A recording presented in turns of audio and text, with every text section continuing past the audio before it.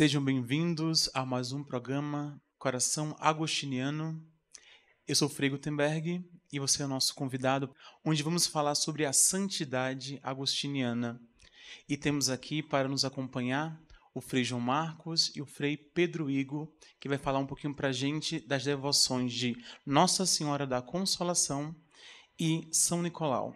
Então, por favor, se, se apresente um pouco aqui para a gente, para os nossos telespectadores que estão nos assistindo. Frei Gutenberg, Frei Pedro, é um prazer estarmos aqui para partilhar um pouco sobre o tesouro da nossa espiritualidade agostiniana, que também é composta pelas devoções da nossa ordem, as devoções marianas e os nossos irmãos e irmãs que são santos, se santificaram através da nossa vida, da nossa regra. Para mim é um prazer estar aqui com vocês. Frei Gutenberg, Frei João Marcos, também todas as pessoas que nos acompanham através de nossas redes sociais. É uma alegria poder também estar aqui hoje, poder compartilhar com vocês um pouco do tesouro que é a espiritualidade da Ordem de Santo Agostinho. Então, sejam bem-vindos aqui e que essa noite seja muito agradável para todos nós. Obrigado, Frei. Então vamos começar, Frei João Marcos, falando um pouco da Mãe de Deus, né? A nossa ordem, ela tem quatro títulos, né, que a gente tem a nossa devoção, e você vai falar sobre a devoção do título principal, que é da padroeira da ordem, que é Nossa Senhora da Consolação. Né? De onde surgiu, como surgiu né, essa devoção? A devoção que os agostinianos trazem de Nossa Senhora da Consolação e Correia é justamente uma devoção a Maria enquanto essa que é mãe da verdadeira consolação, que é Jesus Cristo. Toda devoção mariana, católica, está relacionada a Jesus Cristo ao papel que Maria teve na vida de Jesus e no seu ministério. Ele que passou fazendo bem e consolando a todos.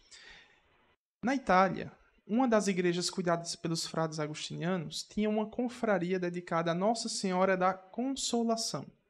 E em outra igreja tinha dedicada a Nossa Senhora da Correia. Essas duas igrejas uniram os seus fiéis numa única irmandade, a Arquiconfraria de Nossa Senhora da Consolação em Correia. Porém, é muito curioso que a origem dessa devoção remonta a uma tradição antiquíssima que relata que a Virgem Maria, aparecendo a Santa Mônica, lhe entrega uma correia, tal qual essa que nós trazemos na cintura. E Nossa Senhora diz a Mônica que aquele é um sinal de penitência e de consagração da vida dela, que ora pelo seu filho, que chora por causa dos pecados de Agostinho.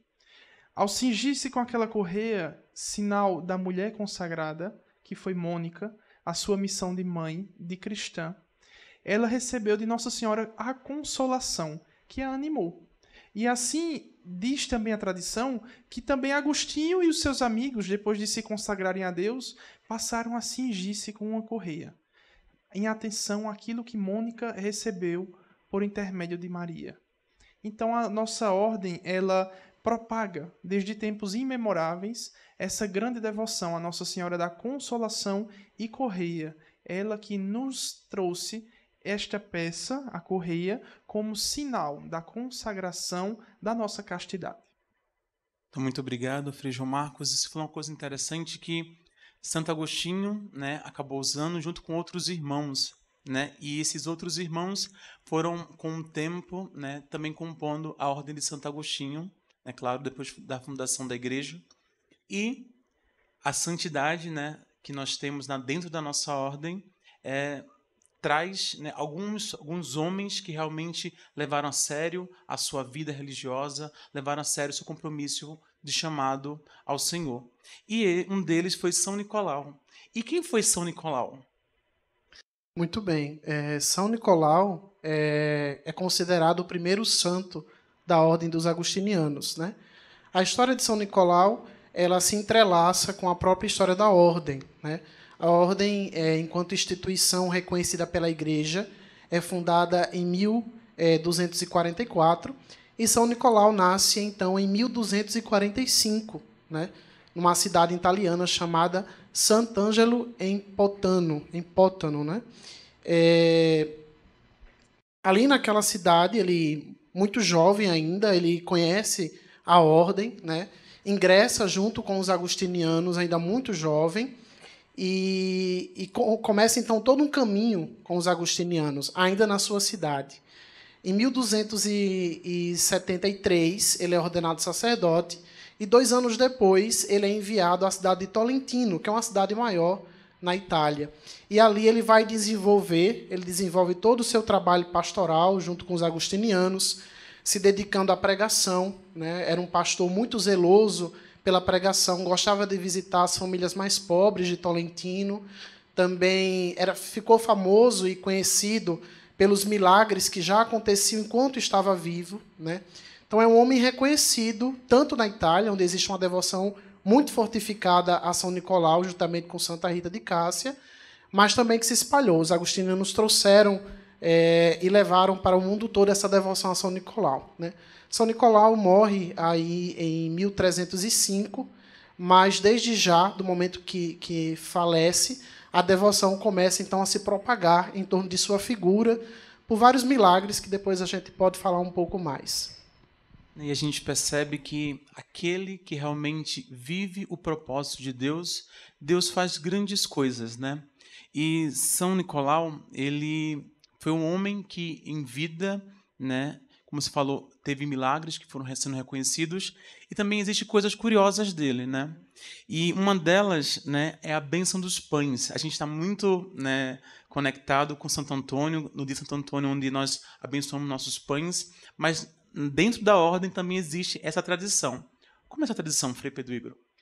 Então, é, São Nicolau ele era conhecido na comunidade, na cidade de Tolentino, por levar uma vida é, muito penitencial. Né? Claro, dentro do contexto histórico onde ele estava inserido, mas mesmo assim ele ia um pouco mais além que os outros irmãos na questão da austeridade. Então era um homem que vivia uma vida muito dedicada à penitência, à oração, e por causa disso é, ele tinha uma saúde um tanto delicada. Então constantemente é, estava enfermo. Por, por causa dessa vida mais sacrificada, né, era um homem realmente ascético, ele então acaba como que adoecendo, né? O prior acaba que obrigando ele a se alimentar de carne, porque ele não comia, basicamente se alimentava de verduras, legumes e frutas. E um dia, quando ele come essa, é, é, essa ave, essa carne, para poder se recuperar na saúde, né? acaba que, infelizmente, a saúde dele acaba piorando. Né? Nesse momento, então, ele clama a intercessão da Virgem Maria. Nossa Senhora, então, aparece a ele, juntamente com Santo Agostinho e Santa Mônica, e pede que ele pegue um pedaço de pão, molhe esse pedaço de pão, coma e reze. Né? A, a tradição agustiniana, agustiniana diz que automaticamente ele recuperou a saúde e a partir daí, então, começou essa tradição de benzer os pães no dia de São Nicolau, ou seja, todo dia 10. Né? O dia de São Nicolau é 10 de setembro. E os agostinianos, então, também propagaram no mundo todo essa devoção da bênção dos pães no dia de São Nicolau. Muito obrigado. Já que falamos de Nossa Senhora, São, é, Nossa Senhora apareceu para São Nicolau. E como foi que, como é que é colocada essa devoção de Nossa Senhora da Consolação? Como ela é vivenciada durante todo o mundo? Nossa Senhora da Consolação, ela é particularmente venerada dentro da ordem agostiniana, junto com as confrarias. Muitas confrarias agostinianas se confiam a diferentes santos. Temos a confraria de São Nicolau, temos a de Santa Rita, mas a arquiconfraria de Nossa Senhora da Consolação em Correia, sem dúvidas, é a mais marcante. E veio com os agostinianos para as Américas, inclusive com os nossos irmãos agostinianos recoletos, que também trouxeram, e se espalhou por todo o mundo. A Arquiconfraria Nossa Senhora da Consolação em Correia são pessoas ligadas ao carisma agostiniano que têm essa particular devoção a Maria Santíssima e se dedicam às obras de caridade. Nossa Senhora apareceu em socorro de São Nicolau e mostrou que, a partir de um pedacinho de pão, é, com fé em Deus, ele é capaz de fazer daquilo um remédio eficaz para qualquer doença. Nossa Senhora da Consolação quer nos dizer também isso, né? Que com Jesus Cristo tudo pode ser consolado. A, mais, a dor mais forte pode ser consolada. Porém, essas confrarias que se reúnem em torno de Maria Santíssima também estão ligadas à figura da correia, como nós dissemos. Então existem também os grupos dos cinturados, pessoas que se confiam à proteção de Maria Santíssima utilizando a correia agustiniana. Geralmente, o quarto domingo do mês é honrado a nossa, é em honra né, a Nossa Senhora da Consolação e Correia. E por isso, dentro do manual da Arquiconfraria, existem os ritos próprios, as celebrações próprias, mas poderíamos dizer que dentro de todo o arcabouço devocional, o que nos chama a atenção também é uma oração muito bonita, chamada de Coroa de Nossa Senhora da Consolação e Correia. Essa coroa é uma meditação dos mistérios da nossa fé. São 13 os artigos da nossa fé. Então vamos passando por cada artigo. Creio em Deus Pai Todo-Poderoso. E depois disso, um Pai Nosso, uma Ave Maria e um Glória ao Pai. Desse modo, como diz Santo Agostinho, nós vamos olhando a fé como que no espelho. E nesse espelho podemos encontrar aí Jesus Cristo, nós mesmos, os nossos irmãos, o nosso apostolado. Através dessa meditação, colocamos a nossa fé em comunhão com a fé de Maria, que foi a fé dessa mulher forte. Essa mulher que conservou a fé enquanto os apóstolos não conseguiram conservar naquele dia de sábado depois da crucificação. Esta oração da coroa de Nossa Senhora da Consolação em Correia é muito tradicional dentro da ordem agostiniana. E ela se encerra com a tradicional Salve Rainha. E ali nós reconhecemos que Maria, como nossa mãe advogada, conhece também as realidades de dor e sofrimento que nós conhecemos hoje, porque também ela passou por esses momentos em que talvez poderia sentir-se inconsolada. Ora, já no começo não ter acolhida para que pudesse dar a luz a seu filho. Fugir logo em seguida com ele recém-nascido por medo da morte. Depois, todo o drama da separação eh, de Jesus, que depois encontrou-se com três dias lá no templo. Depois, outra separação longa de três anos, quando Jesus vai fazer sua vida pública. Depois, a paixão do Senhor, que não precisamos nem detalhar de quantos sofrimentos aquela mãe deve ter sentido. E por fim, essa mulher poderia se dizer: Poxa, como ela sofreu, como poderia ser uma desesperada, digamos assim. Mas Maria sempre teve uma fé muito segura naquela promessa que Deus fez através do anjo, né? que aquele menino seria causa de derrubada, mas também de erguimento. É, eu acho que isso nos ensina muito, muito. Aquela mulher foi consolada por Deus, foi consolada pela missão do seu filho. E eu acho que ninguém melhor do que Maria Santíssima para poder nos dizer isso. Porque Jesus, ainda que sendo homem, é Deus. Então nós podemos dizer assim: veja como nosso Senhor foi resoluto na sua caminhada, né? Mas Maria foi toda humana. Toda humana. Então, quem melhor para dar um testemunho tão grande do que alguém igual a nós? Uma mulher forte, firme na fé, silenciosa, mas ali, perseverante. Eu acho que é dentro desse esquema que a espiritualidade de Nossa Senhora da Consolação em Correia toca aos agostinianos, mas também a qualquer pessoa, porque acho que é, a falta de consolo e os momentos de desespero na, na vida são comuns a qualquer um neste mundo. Você falou algo que é muito interessante que Maria ela foi humana, mas ela cumpriu a vontade de Deus, né? Ela era uma mulher de fé, uma mulher que realmente soube ouvir o chamado de Deus para sua vida e mesmo assim ela colocou toda a sua força, toda a sua fé naquele que a criou. E também, nesse caso, Frei Pedro Igo, São Nicolau, ele foi um homem que de muitas virtudes, né? Acho que é importante a gente salientar que a santidade, ela está justamente né, nas virtudes, nesse treinamento em que nós fazemos diariamente, né, naquilo que é bom, naquilo que realmente nos leva a Deus. E também tem uma outra curiosidade também de São Nicolau, né, que ele é conhecido, né, quando aqui na ordem, pelas almas do purgatório. Quando a gente quer pedir pelas águas do purgatório, a gente recorre a São Nicolau. Como é que isso aconteceu dentro da tradição da ordem? É, Frei, São Nicolau, como eu falei no início, né, pertence ao tesouro da nossa ordem e alguns até chegam a chamar de filho mais ilustre. Nós temos um elenco de santos aí de grandiosos santos, mas São Nicolau nós temos um carinho, particularmente por, ser, por ter sido o primeiro santo canonizado né, da nossa ordem, mas também é, por tudo aquilo que envolve a vida de Nicolau. São Nicolau, como eu falei no início, era um sacerdote muito dedicado. Então, todos os dias rezava a Santa Missa, né?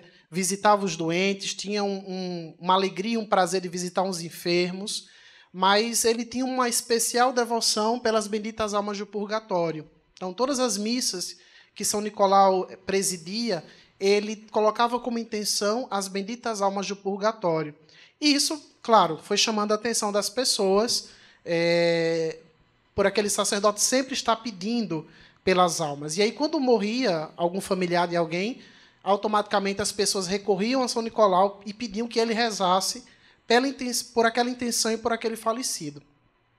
De acordo com a tradição agostiniana, é, as pessoas então começaram a, a, recorrer a São Nicolau, e quando ele rezava né, um, um certo é, número de, de, de, missas, as pessoas diziam que a, a, os familiares que, haviam, que, que tinham falecido, é, como que se comunicavam de alguma forma, enfim, mas diziam que tinham conseguido sair daquela situação do estado que é o purgatório, que, como nós sabemos, a tradição ensina, é um estado de purificação, né? E conseguiu ascender, então, a, aos céus junto de nosso Senhor Jesus Cristo. E atribuíam isso a São Nicolau. Então, a partir é, dessa tradição, é, começou-se, então, a atribuir a São Nicolau o título de padroeiro das benditas almas do purgatório.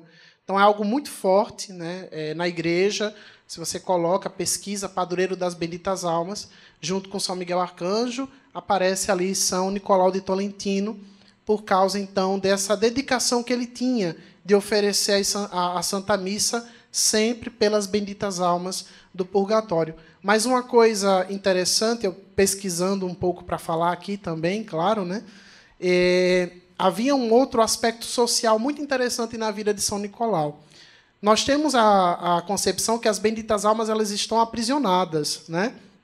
E ele também gostava de visitar, visitar os prisioneiros, pessoas que viviam realmente é, em estado de prisão. Então havia é, essa, é, essa, esse duplo sentido. Ele rezava por aquelas almas que estavam aprisionadas no purgatório, mas também visitava os irmãos e as irmãs que estavam em situação de prisão. Né? Isso então havia essa, essa dualidade na intenção de São Nicolau. Rezava pelas benditas almas, é reconhecido como protetor das benditas almas, mas também tinha esse caráter social de visitar os, os presídios.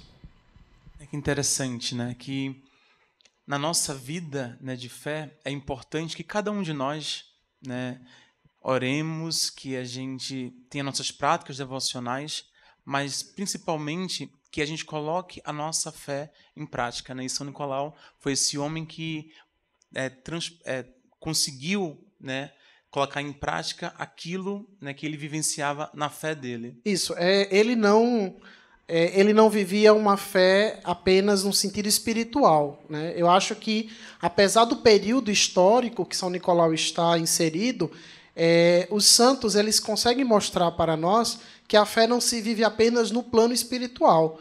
Ela também tem que ser vivida é, no plano corporal, né? No hoje, no agora, nas realidades que nós vivemos. E eu acho que, apesar de São Nicolau estar lá no século no século XIV, né, ele consegue trazer para nós também hoje um pouco dessa realidade. A nossa fé ela tem que ser praticada, ela tem que ser vivida e ela tem que ser mostrada, como fala São Tiago, né? A fé sem obras acabar sendo uma fé morta, né? Exatamente. E já que estamos falando de uma fé viva, né? Estamos falando também de Nossa Senhora que conhecemos vários títulos Nossa Senhora. Nossa Senhora Aparecida, Nossa Senhora Mãe do Bom Conselho, que vamos falar daqui a pouco. Mas como nós podemos, Frei João Marcos, né, vivenciar melhor essa devoção à Nossa Senhora da Consolação? Bem, como o Frei Pedro falou agora há pouco, uma fé sem obras é morta. Uma espiritualidade que não transcende para a carne, para, ou seja, para a vida cotidiana, não tem sentido de ser. O que é que nós podemos então aprender desse título de Nossa Senhora da Consolação? Ao rezarmos a Maria e pedirmos o consolo para as nossas vidas, ela nos dá o maior de todos os consolos. Ela nos apresenta o seu Filho Jesus Cristo. Toda imagem de Nossa Senhora da Consolação que qualquer um vê Inclusive, aqui na nossa igreja de Santo Agostinho, temos uma belíssima no altar lateral. Maria está sempre entregando a correia, como símbolo dessa consolação, mas nos entrega também a consolação de fato, seu filho Jesus. Ela sempre traz o menino Deus nos braços. E ao nós recebermos essa consolação, cabe também uma resposta. Nós sempre rezamos na oração Nossa Senhora da Consolação que Jesus é o verdadeiro consolo prometido pelos profetas, trazido ao mundo através do seio virginal de Maria, e pedindo a graça de sermos consolados para também nós consolarmos aos que se encontram desesperados ou desanimados. Acho que essa devoção, ela não tem como ser mais atual do que nos tornarmos consoladores dos que estão à nossa volta. É, acredito que o nosso mundo pode estar mais tecnológico que o de São Nicolau, mas não menos livre de sofrimentos, não menos livre de desgraças, de injustiças. Acho que podemos olhar nas histórias dos santos os verdadeiros devotos de Nossa Senhora da Consolação. São Nicolau consolava os que estavam enfermos, consolavam os que estavam desesperados pela morte dos familiares, os encarcerados e também nós, Frei Gutenberg, Frei Pedro, Frei João Marcos e você que nos acompanha. Se somos verdadeiramente devotos da Virgem Maria, consoladora dos aflitos, também nós temos que transparecer essa fé pura e verdadeira, consolando aos que estão ao nosso lado. Não os que estão do outro lado do mundo, também eles, mas começando na nossa casa, na nossa família, no nosso ambiente de trabalho, na nossa comunidade eclesial, na nossa pastoral. Acho que é uma honra muito grande podermos nos dizer filhos de Maria e também consoladores dos irmãos. Leva essa consolação. Maria consola porque ela é cheia do Espírito e nós também o somos. E é justamente isso, né? É encarnarmos a nossa fé, encarnarmos a nossa devoção, né? Para que não seja algo puramente espiritualista, mas seja algo realmente real e concreto no nosso dia a dia. E uma última também curiosidade que nós queremos tirar sobre São Nicolau é em relação que ele é sempre representado nas imagens com uma estrela no peito. E o que isso significa, essa estrela? Frei, é uma história bem interessante, como todas as outras histórias aí que, que estão em torno de São Nicolau. É...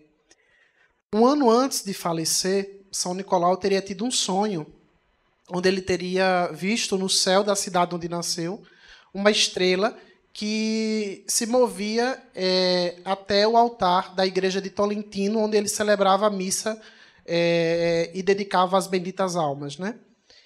Ao contar essa história, enfim, para os irmãos é, do convento, né, os irmãos começaram a perceber uma certa luz que envolvia São Nicolau. Tanto é que, se vocês pesquisarem São Nicolau de Tolentino, vocês vão ver várias imagens. Ele está utilizando um hábito como o nosso, basicamente, né? E totalmente cheio de estrelas e com uma estrela maior em destaque no peito. Enfim, é, essa estrela, ou essa luz que acompanhava São Nicolau, acompanhou até a morte dele, aí no dia 10 de setembro de 1305. Né? E depois daquilo, claro, se destacou é, essa devoção a, a São Nicolau. Mas, escutando aqui o Frei João Marcos, acho que a gente pode ressignificar um pouco essa simbologia da estrela. Para os agostinianos, São Nicolau é realmente um exemplo. Um exemplo de frade, um exemplo de sacerdote, um exemplo de cristão. Né? Então, eu acho que cada cristão deve ser também na vida dos outros uma luz. Né? Como foi São Nicolau no seu período em que viveu, como é, é, até hoje para nós agostinianos, quando, quando queremos ver aí, além, claro, do nosso pai Santo Agostinho, mas um exemplo autêntico de frade agostiniano, a gente pode encontrar isso em São Nicolau. Mas eu acho que cada cristão, você que nos acompanha, você que nos, que nos assiste neste dia, você também é chamado a ser uma estrela, a ser uma luz para as pessoas, né? Que as pessoas possam, é, talvez as pessoas não vão ver uma estrela no seu peito, né? Como, como acabavam vendo em São Nicolau. Mas como é bom quando as pessoas chegam para a gente e dizem, olha, você é uma luz, né? Você realmente transmite a luminosidade que nós só encontramos em Jesus Cristo. E para terminar é aquilo, né? São Nicolau não era a luz. A luz era Jesus, que refletia em São Nicolau, na vida dele, nas obras. Então acho que fica isso para nós de exemplo de vida de São Nicolau de Tolentino. Nós estamos quase encerrando esse nosso primeiro bloco. Eu queria que vocês fossem luz para tantas pessoas que nos assistem e trouxessem uma mensagem, né, para aquele que tá aquele que é vocacionado, aquele que quer conhecer mais a ordem, aquele que sente a inquietude desse coração agostiniano. Então, começando pelo Frei João Marcos, por favor. Bem, eu acho que a melhor mensagem que eu poderia transmitir para aqueles que têm inquietude vocacional é dizer que o nosso carisma agostiniano é ser no mundo sinal de comunhão. É, se você sente o chamado de Deus a querer experimentar a comunhão de vida e de bens junto aos irmãos, é, buscando a Deus com sinceridade de coração, considerem-nos como uma opção. Estamos aí há quase 800 anos no mundo e somos herdeiros de grandes, de grandes homens, de grandes mulheres, e é uma experiência que vale a pena gastar a vida por ela. Então, esse é o convite que eu deixo aqui.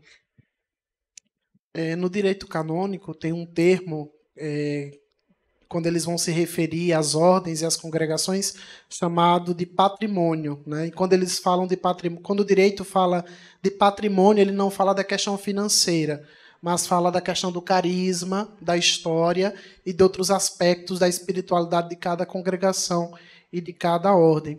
E eu posso aqui, é, diante dos meus irmãos e de que você que, que, que nos acompanha, dizer que a Ordem de Santo Agostinho tem um patrimônio grandioso, enquanto história, enquanto espiritualidade, vida de santos. Então, assim, é bonito fazer parte. Quando a gente olha para tudo isso, eu particularmente, creio que todos os agostinianos e agostinianas nos sentimos é, realizados é, e honrados de poder ter em nossas mãos um patrimônio tão grandioso como esse, que é, por exemplo, um São Nicolau de Tolentino, uma Santa Rita de Cássia, um Santo Alonso de Orozco, um Beato Mariano.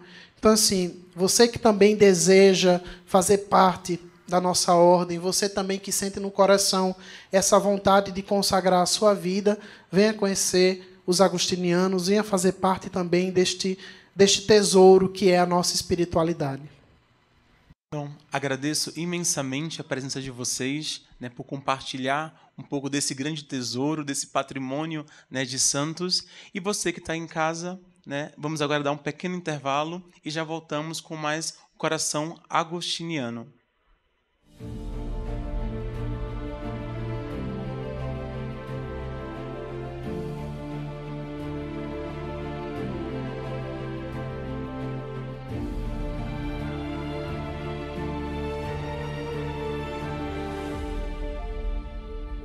Todos nós sabemos a importância da oração pelos filhos, mas se tem alguém que tem total consciência do grande poder da oração, é Santa Mônica, a mãe de Santo Agostinho.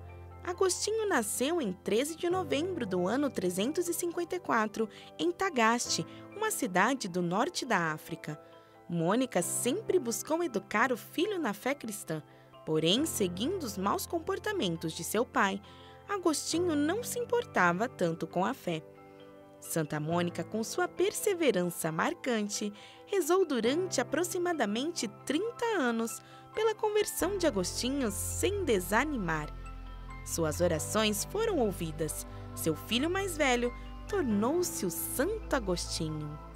Santo Agostinho foi este grande santo da igreja e doutor que hoje nós conhecemos mas que durante a sua vida, até encontrar-se com o Senhor, passou por muitos processos. Por conta de sua busca pela verdade, então Santo Agostinho acabou procurando-a em muitos lugares e por causa disso passou a ter uma vida desregrada porque não sabia onde exatamente encontrar essa verdade que tanto buscava, até, evidentemente, convencer-se de que a verdade que ele procurava era o Cristo.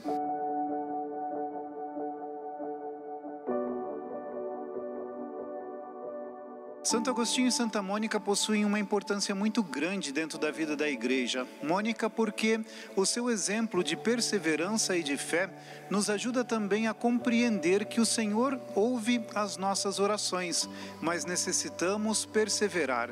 Sabemos que Mônica rezou cerca de 32 anos até que Agostinho se convertesse e encontrasse a Jesus Cristo. E Agostinho, sem dúvida nenhuma, é importantíssimo para a igreja porque a sua vida foi para com que a igreja fosse defendida, com que a sua doutrina fosse estabelecida e com isso ele se tornou um daqueles grandes santos, grandes pensadores grandes teólogos que fundamentam grande parte da fé que nós temos hoje em nossa igreja. Por isso que ele é um grande doutor.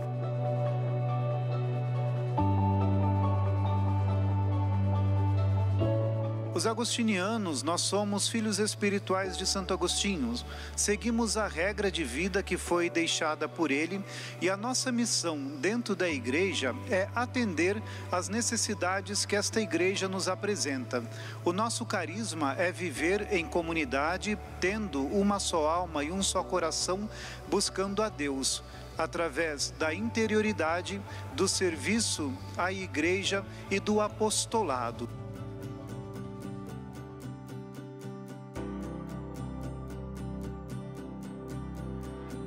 Com Santo Agostinho e Santa Mônica nós podemos aprender muitas coisas, né?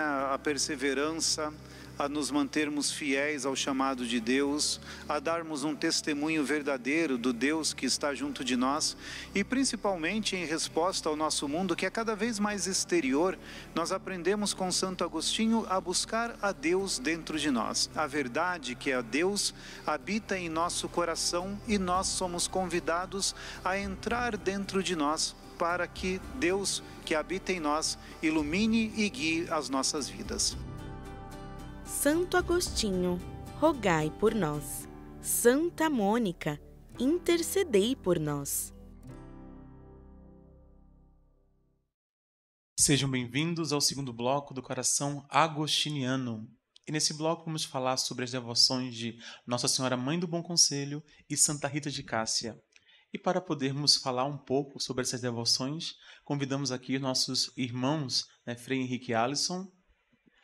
Tudo bem, obrigado pela, pelo convite para falar um pouco aqui sobre a Mãe do Bom Conselho, que tem um pouco, é, um pouco não, muito relacionado com a minha história vocacional também. E o Frei Jean Alves. Claro, falar sobre Santa Rita é sempre uma alegria, Frei Gutenberg, então obrigado pelo convite. Então vamos começar né, pela Mãe de Deus, Frei Henrique, qual é a relação de Nossa Senhora Mãe do Bom Conselho com os agostinianos?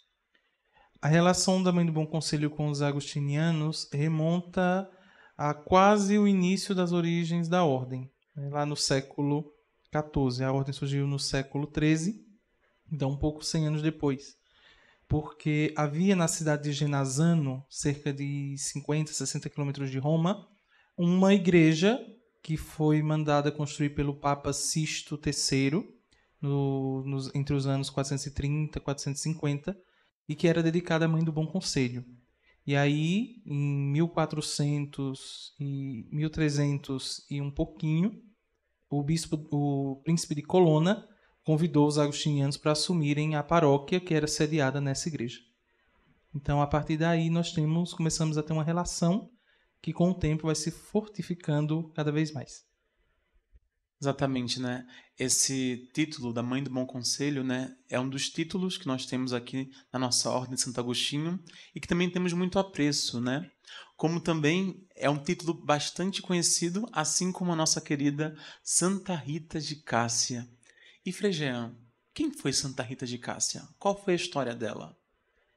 Gutenberg, Santa Rita de Cássia hoje tida como uma das santas de maior devoção no mundo, né? E temos a alegria de ser uma santa agostiniana, de ser uma monja agostiniana.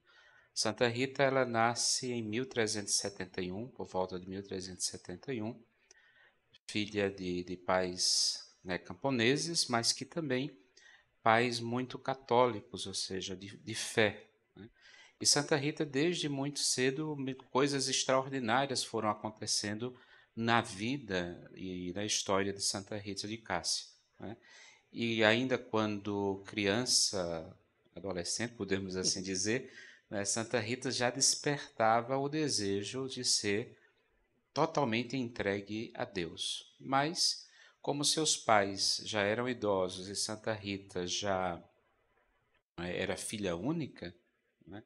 então teve que obedecer a seus pais e então fez-se fez noiva é?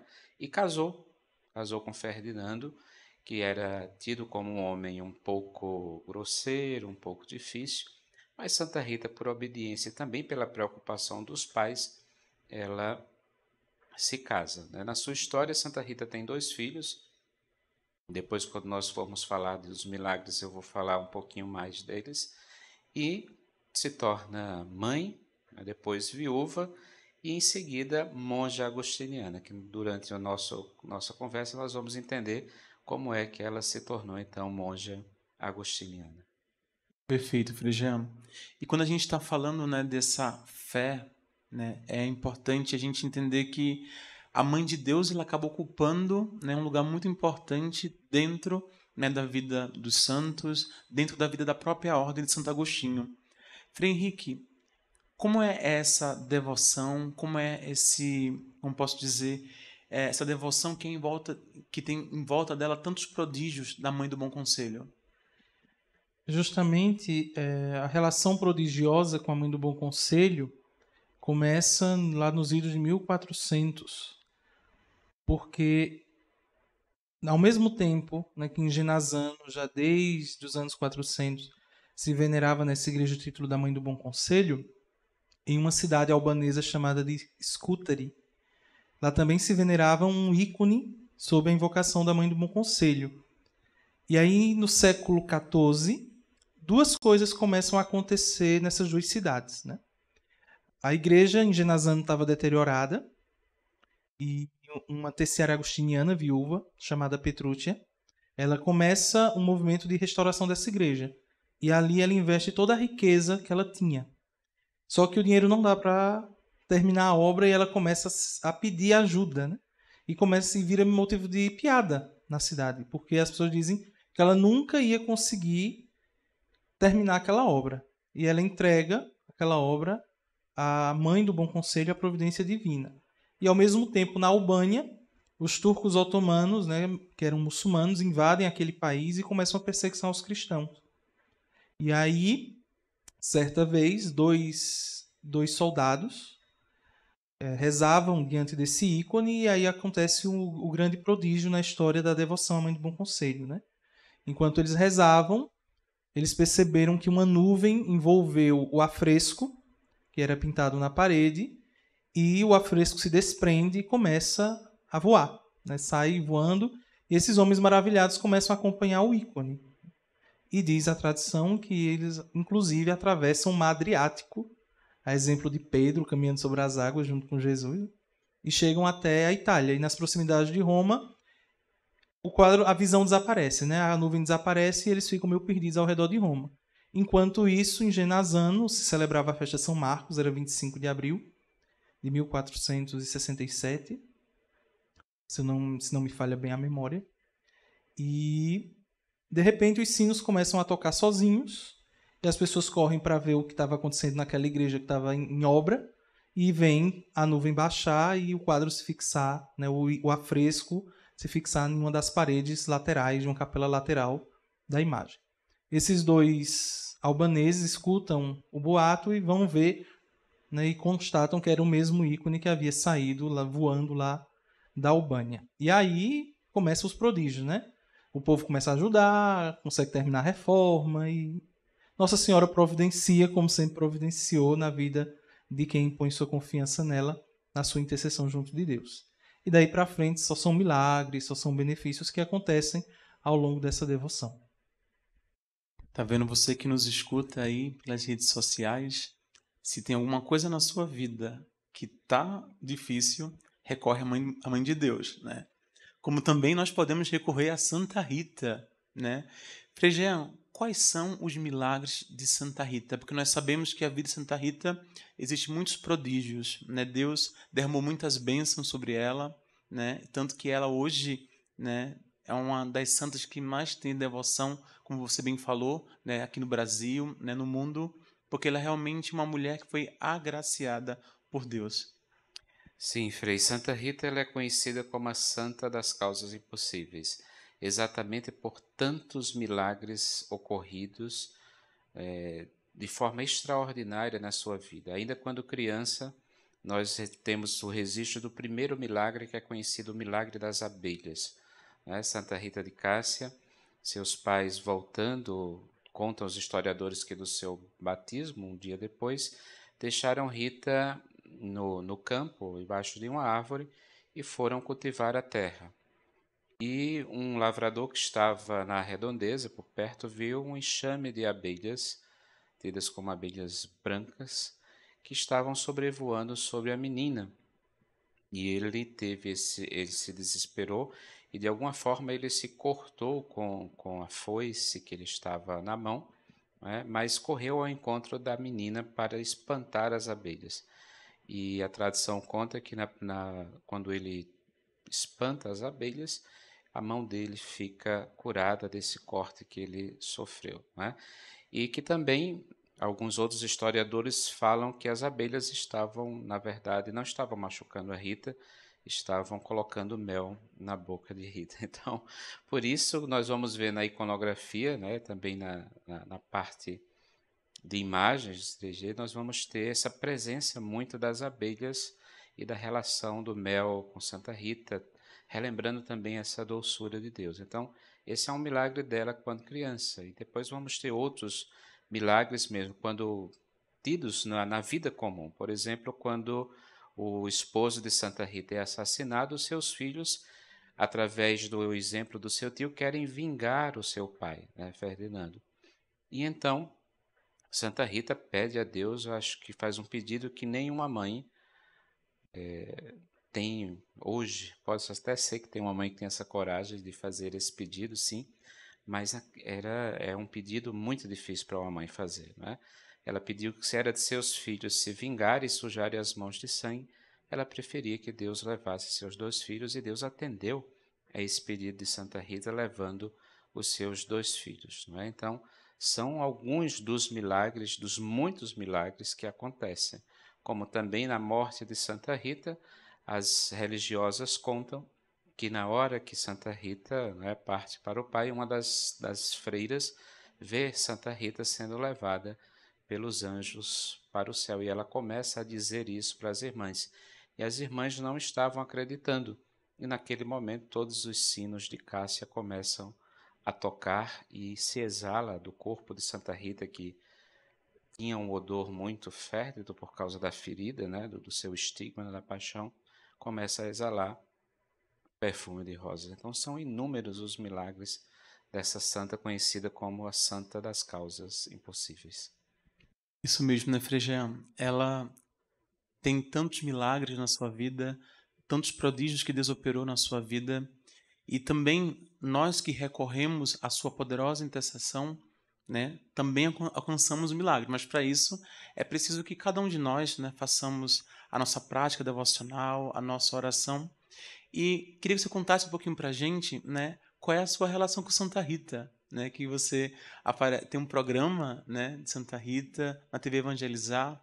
Né, você é uma pessoa que propaga né, pelas redes sociais com a sua vida essa devoção. Que relação é essa? Como começou essa relação? Veja, Frei Gutenberg, eu sou de uma paróquia, paróquia de Santana, Santana e São Joaquim, então, da cidade de Quais. Eu não conhecia, assim, não tinha devoção a Santa Rita. Na cidade vizinha, Santa Cruz, Santa Rita de Cássia. Então, quando eu saí de Quais Novos, a primeira cidade que eu fui morar, como ser paroquiano, foi de Santa Rita, Santa Cruz, e a padroeira era Santa Rita de Cássia. Então, eu conhecia Santa Rita, mas eu não tinha essa devoção a Santa Rita. E nós costumamos dizer que Santa Rita acaba escolhendo os seus devotos, né? ela atrai os seus devotos. Então, na primeira vez que eu vi aquela procissão, aquela multidão, é? depois de uma novena tão bem celebrada, uma multidão de 60, 70 mil pessoas, ali com a expressão tão viva de devoção e de fé, é? através do exemplo de Santa Rita, Parecia que quando aquela imagem estava saindo da, da, da, matriz, né, toda enfeitada, toda bonita para a procissão, aconteceu aquela, aquela relação mesmo, né, filial, de, de você sentir a presença da santa que diz assim: Eu estou com você. E a partir daquele momento, ali por volta dos meus 17, 18 anos, a relação com Santa Rita só foi crescendo ano após ano. E eu sempre digo que ela tem me socorrido e valido, me valido em tantas horas, não só não para os meus pedidos, mas para tantas pessoas que pedem a intercessão de Santa Rita. E por ela amar tanto a cruz, eu, eu tenho a certeza que quem é devoto de Santa Rita também tem que fazer essa experiência de cruz. Tem que aprender a sofrer para, junto com ela também, aprender a vencer através da vitória do próprio Cristo sobre a morte, sobre a cruz e nos dando assim uma vida nova. Muito obrigado, Frei por esse testemunho né, tão bonito né, de devoção a Santa Rita de Cássia. E já que estamos falando de devoção, Frei Henrique, né, como é que acontece essa devoção à Nossa Senhora Mãe do Bom Conselho? Assim como muitas das devoções marianas, algumas são em virtude do lugar onde aparece. Né? Então a gente tem Nossa Senhora de Fátima, Nossa Senhora de Lourdes, que evocam locais de aparições marianas. Mas acredito que a grande maioria dos títulos com os quais a igreja invoca a Mãe de Deus se referem ou a alguma virtude dela ou a alguma virtude do seu filho. Né? E a Mãe do Bom Conselho, acredito que engloba as duas coisas. Né? Ela é mãe do bom conselho porque ela é mãe do conselho divino que é o próprio Jesus. Ele é o conselheiro admirável, como é invocado na Sagrada Escritura e, e na tradição. Mas também ela é uma mãe que aconselha, como não esquecer as palavras de Maria nas bodas de Caná. É o maior conselho que a mãe de Jesus podia dar a quem se coloca no caminho do seguimento do seu filho. É aquelas são aquelas aquelas palavras, né, aquela frase de Maria nas bodas de Caná. Fazei tudo o que ele vos disser. Então, esse é o grande conselho de Maria. E a devoção à mãe do bom conselho consiste justamente nisso, né? de se colocar numa atitude de escuta aos conselhos que Deus vai nos revelando, seja através da Sagrada Escritura, seja através dos livros espirituais e, sobretudo, através das pessoas que nos acompanham, né? das pessoas que nos dirigem espiritualmente, das pessoas que compartilham conosco esse caminho do discipulado, que não se faz sozinho, né? que sempre se faz em conjunto. E a devoção à Mãe do Bom Conselho foi sendo propagada pelos agostinianos e por outras famílias religiosas. Eu, por exemplo, eu venho de uma paróquia dedicada à Mãe do Bom Conselho, mas eu só vim descobrir que eram os agostinianos que cuidavam do santuário genazano quando eu entrei na ordem. Né? Lá quem propagou na, na minha região a devoção à Mãe do Bom Conselho foi um frade capuchinho né, que evangelizou por lá, e na minha cidade construiu a primeira capela da cidade dedicada a ela. Numa cidade vizinha também há uma capela que foi construída em, é, dedicada a esse título. Há uma cidade próxima que é dedicada a Bom Conselho, né, o nome da cidade é Bom Conselho. E há diocese ali na região também, que é, que é a catedral, é Nossa Senhora do Bom Conselho, se não me engano, é a diocese, uma diocese de Alagoas, não vou me lembrar bem o nome, mas eu sei que a cidade onde está essa concatedral é Arapiraca. Então se difundiu ali sem ter a presença dos agostinianos em, no Nordeste. Mas é tão grande esse título, né, tão caro a, aos católicos, que ultrapassa os limites da ordem agostiniana, apesar de nós sermos os detentores daquela igreja e os grandes propagadores dessa devoção. E falando um pouco né, dessa ligação que você tem com a Mãe do Bom Conselho, né, como foi para você né, descobrir, assim como eu também, eu sempre procurava na minha história vocacional qual é o santo do dia que eu nasci, né? Então eu não encontrava ninguém. E quando ingressei na ordem, descobri a Nossa Senhora da Consolação em Correia, que é a padroeira da ordem e que também é o dia do meu aniversário, né? Então, ó, fico presente, viu, gente?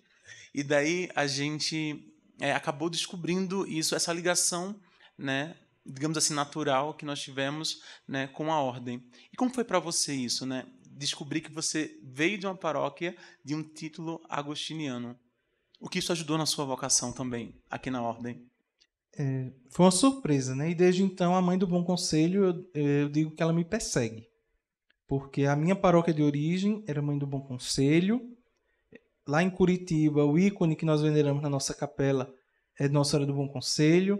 No noviciado, a imagem de Nossa Senhora presente na capela do noviciado é Nossa Senhora do Bom Conselho O nosso professor, onde nós vivemos aqui em São Paulo, é Mãe do Bom Conselho. Uma das comunidades onde eu trabalhei pastoralmente aqui em São Paulo é a comunidade Mãe do Bom Conselho, ou seja, a Mãe do Bom Conselho, não vou dizer está me perseguindo, mas está me amparando, graças a Deus e ao seu amor maternal, desde que eu me entendo, desde que eu fui batizado, né? Porque fui batizado sob o amparo e consagrado a ela no dia do meu batismo, como é a tradição católica. Então, foi uma alegria muito grande e é um consolo muito grande, né? Saber que a Mãe de Deus é, nos acompanha também nesse caminho vocacional e, como eu disse, né? Dando sempre a cada dia o grande conselho de sempre nos colocarmos à escuta do, do que Jesus quer de nós. E já que estamos falando né, em conselho, já que estamos falando né, nesse caminho em que o Senhor ele nos coloca né, tantas pessoas né, que com a sua vida de santidade, a própria Mãe de Deus que sempre nos aponta seu Filho Jesus, o que é que vocês poderiam falar né, para aquele, aqueles que estão nos ouvindo né, no dia de hoje, aquele que é vocacionado, aquele que está com o coração inquieto, qual conselho que vocês dão para essas pessoas que estão nos ouvindo nesse momento? Olha, é muito importante que, como vocacionado, nós tenhamos com certeza amor à Mãe de Deus, né? Devocionalmente precisamos, sim. Não existe um cristão católico que não ame a Mãe de Deus. Se existe, não é católico. Não é, não é católico. Porque se for, tem que amar a Mãe de Deus. E claro, ter um santo de sua devoção, né? essa piedade popular, essa devoção aos santos que também faz com que nós possamos transcender em relação à vida daquele santo, trazendo elementos da vida de, deste santo, no meu caso de Santa Rita, né? muito voltada ao amor, à, à paixão de nosso Senhor Jesus Cristo, para a nossa vida, para que a gente possa também ser sinal de Deus na vida de tantas pessoas. Então, foram homens e mulheres como nós. Então é possível, nos tempos de hoje, como vocacionado, como sacerdote, como religioso, religiosa, ser santo, né? como leigo e leiga, como pessoa comum, ser santo, como era o convite que o Papa João Paulo II, São João Paulo II, nos fazia. Né? Nessa perspectiva de ser santos de calças jeans, que significa exatamente ser santo nos tempos atuais. Muito obrigado, Frejean. Para Henrique. A grande atitude que o vocacionado ou a vocacionada tem que ter, acredito que é de escuta e discernimento, né? E a Virgem Maria nos, nos recorda isso muito bem. O Evangelho várias vezes diz que ela guardava no coração tudo aquilo que ela escutava e meditava. É preciso nós escutarmos os chamados de Deus é, e irmos meditando o nosso coração, porque às vezes o chamado vem envolto, às vezes em ruídos que tentam abafá-lo. Então é preciso cotidianamente nós escutarmos esse chamado e meditarmos, seja na vocação à vida religiosa agustiniana, seja na vocação das famílias que dos jovens que vão constituir famílias, como temos muitos exemplos nas nossas comunidades, né? Jovens que crescem dentro das nossas paróquias, são famílias agustinianas também mas é preciso ouvir, né? Porque o mundo hoje tem muitos ruídos que tentam abafar a voz de Deus. Então, Nossa Senhora nos ensina que o silêncio é o lugar da escuta, é o lugar da, do encontro com a voz do Senhor. E a partir daí, como disse o Frei Jean, né? olhar para os exemplos que nós temos na nossa vida, dos santos, da própria Virgem Maria, das pessoas, dos frades que nos acompanham, seja na promoção vocacional, seja nas nossas paróquias, que também falam de Deus na nossa vida. Muito obrigado, irmãos. Agradeço que estejam aqui partilhando a fé, partilhando né, as devoções de vocês, compartilhando a história vocacional que com certeza muito nos engrandece. E você que está em casa, né, aguarde mais um pouquinho, temos mais um bloco, tá certo? E com a surpresa.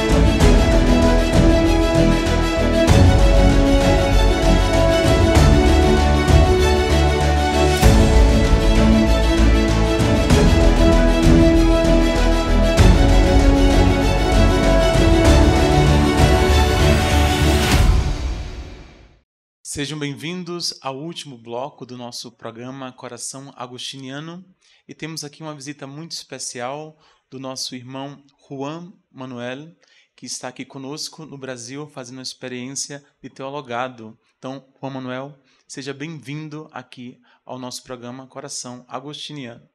Muchas gracias, es un gusto estar aquí y compartir este momento con vos, con ustedes. Eh, la verdad que muy agradecido, muy agradecido de, de poder estar aqui. E Juan, você poderia contar para a gente um pouco da sua caminhada vocacional? Sí, bueno, eh, tengo 31 años, así que esto comenzó hace muchos años.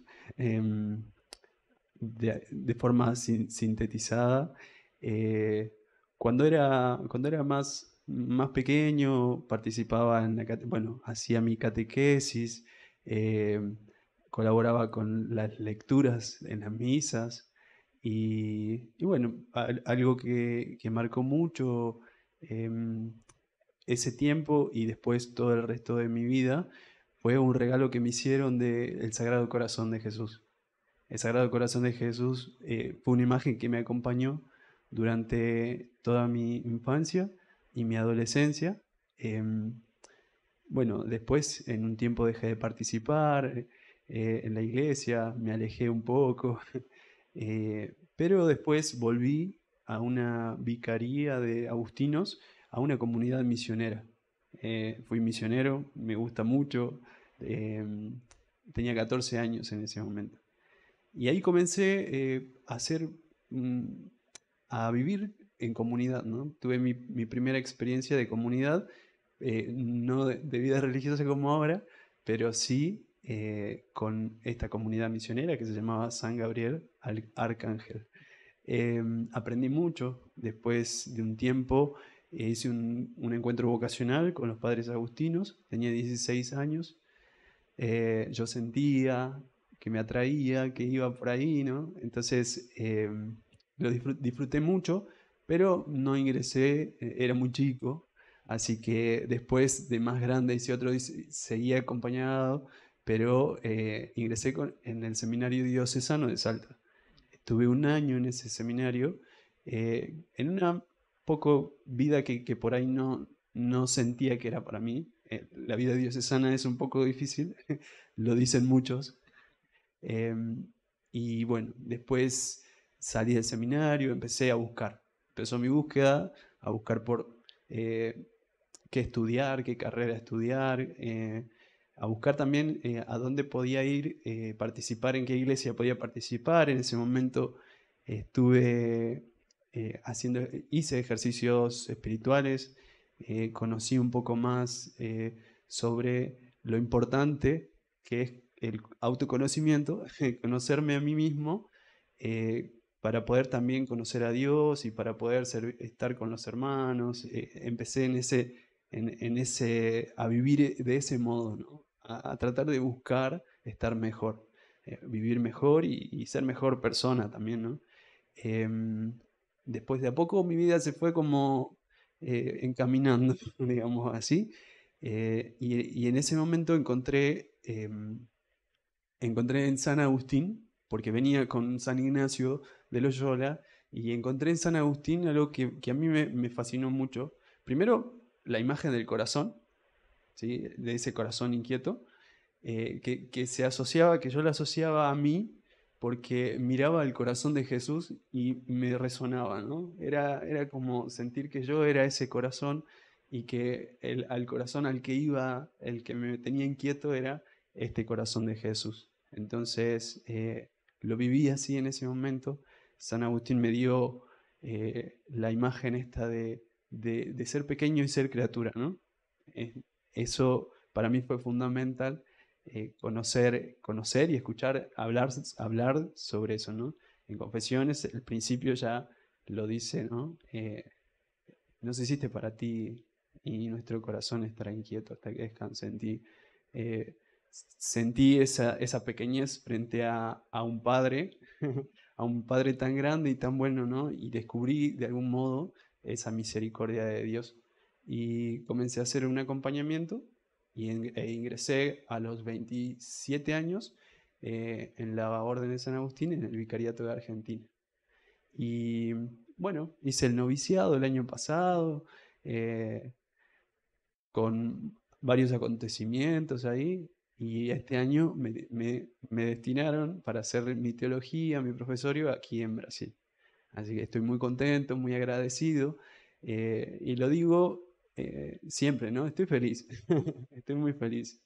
Así que ese es un poco de, ah, de manera rápida mi vida e minha vocação. Agradeço, Juan, né, por compartilhar conosco né, a sua vocação, a sua vida. E também agradeço você que está aqui em casa, que nos acompanhou durante todos esses meses no nosso programa Coração Agostiniano. Foi uma alegria compartilhar com vocês a nossa fé, a nossa vocação, a nossa história, os nossos projetos. E você, com certeza, faz parte dessa história desses 10 anos aqui da nossa província agostiniana do Brasil. E para a gente encerrar é, essa, essa temporada do Coração Agostiniano, nós vamos cantar uma música que é muito importante para nós agostinianos, que fala do que é próprio da espiritualidade agostiniana, que é a comunidade, né? E você está convidado para cantar junto conosco e assim nós nos despedimos dessa temporada do Coração Agostiniano. Muitíssimo obrigado.